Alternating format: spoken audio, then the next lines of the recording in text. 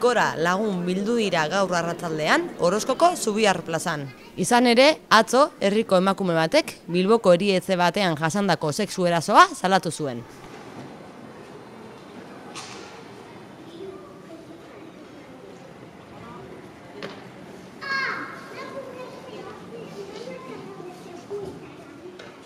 Eskerrik asko, Matxitzu Orozkoko emakumeen emakume elkartearen, eraldeko mugimendu feministaren eta erasotutako emakumearen izenean, eraso matxista honen aurrean erakutsitako elkartasun eta indarragatik. Denon artean lortuko dugu emakumeok jasaten dugun indarkeria desagerraraztea.